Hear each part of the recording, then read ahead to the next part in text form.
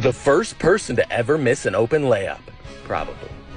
The game is tied 105 to 105. 10 seconds left.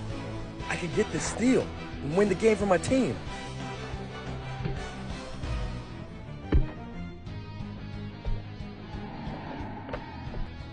I'm wide open. Ball game, baby.